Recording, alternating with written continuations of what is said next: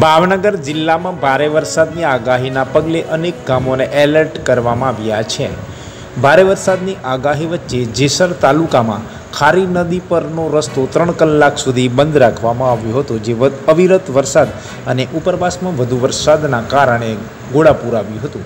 ઉપરવાસમાં વરસાદ પડતા ખારી નદીના પાણી રસ્તા પર આવી ગયા હતા, જેને લઈને રાણી ગામથી ગુજરડા વચ્ચેનો રસ્તો બે કલાક માટે બંધ કરવામાં આવ્યો હતો.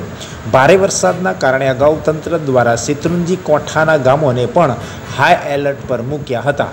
રસ્તો બંધ થતાં બે કલાક સુધી વાહન વ્યવહાર ખોરવાયો હતો જો કે અતિશય વરસાદ અને ભારે વરસાદના કારણે આ પૂર આવ્યું હોય જેને લઈને બે કલાક સુધી રસ્તાને બંધ રાખવો પડ્યો હતો. આમ ભાવનગર જિલ્લામાં અવિરત વરસાદ પડી રહ્યો છે, જેને લઈને વરસાદના આગાહીના પગલે અનેક ગામોને એલર્ટ પર મૂકવામાં આવ્યા છે. ત્યારે ભારે વરસાદ જેસર તાલુકામાં પણ ખારી નદી, બંને કાંઠે વહેવા લાગી અને રસ્તા પર પાણી ફરી વળતા રસ્તાને બંધ કરવો પડ્યો હતો.